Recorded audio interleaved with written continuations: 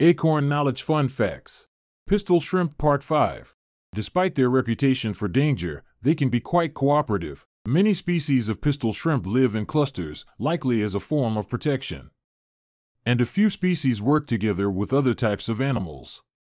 Pistol shrimp are known to give gobies, a type of small fish, a place to live in exchange for help watching out for danger.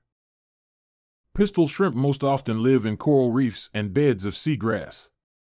Duck your head underwater in temperate and tropical regions, and you'll likely hear from one of the more than 600 species that exist around the globe. If you have something that you would like to see, leave a comment, and as always, thanks for watching. Please like, share, and subscribe.